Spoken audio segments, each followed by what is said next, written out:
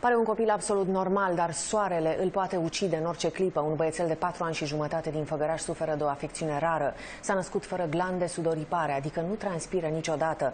Boala îi afectează și oasele. Are o singură măsea, iar părul abia îi crește. Orice supraîncălzire a corpului îi poate fi fatală. Părinții au nevoie de bani pentru a-i pune o proteză dentară și au nevoie de fonduri pentru vitamine.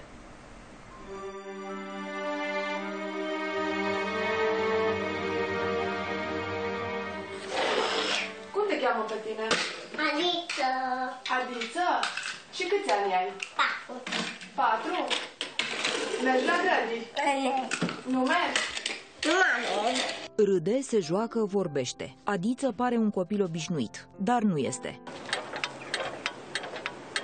Căldura îi poate fi oricând fatală. Părinții au ajuns cu el la medic când au văzut că nu-i cresc dinții și nici părul. Așa au aflat că băiatul lor suferă de o afecțiune extrem de rară. Există doar două cazuri în România și în jur de 7000 în întreaga lume. Medicii din uh, secție au stabilit diagnosticul de displazie ectodermală. Este o boală genetică, se manifestă prin uh, aceste tulburări de uh, sinteză a pilozității, deci absența pilozității la nivelul scalpului sprâncenelor în special.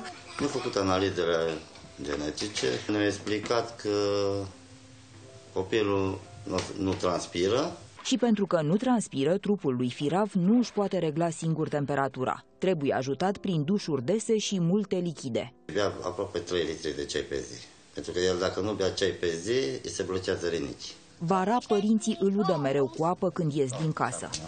Da mănânca. Așa. Iar în casă au grijă ca temperatura să nu depășească 20 de grade. În casă la duș, cum e cald, la duș. Dacă nu? Dacă nu poate să se oprească rinichi și să moară.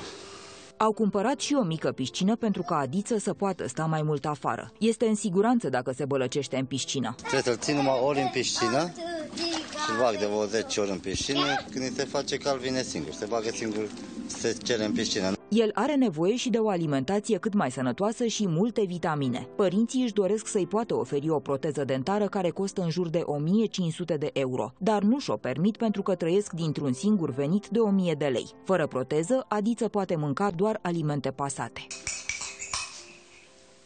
Mai puțin.